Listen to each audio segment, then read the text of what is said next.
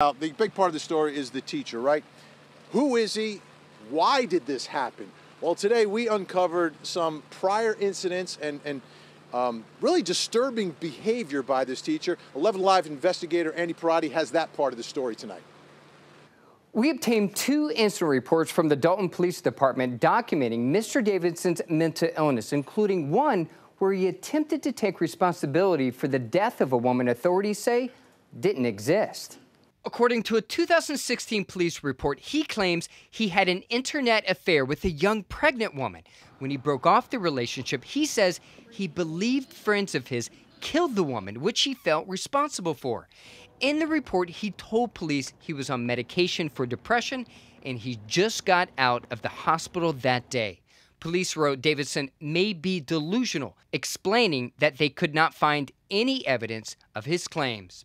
A second incident happened in January 2017. This time, Dalton police responded to the school after staff reported Davidson missing from class. According to the report, the officer wrote Due to Mr. Davidson having a history of medical problems, the officer contacted Hamilton Medical Center. When police found him, two school staffers were holding him up on a street curb. Davidson was awake but was not able to speak.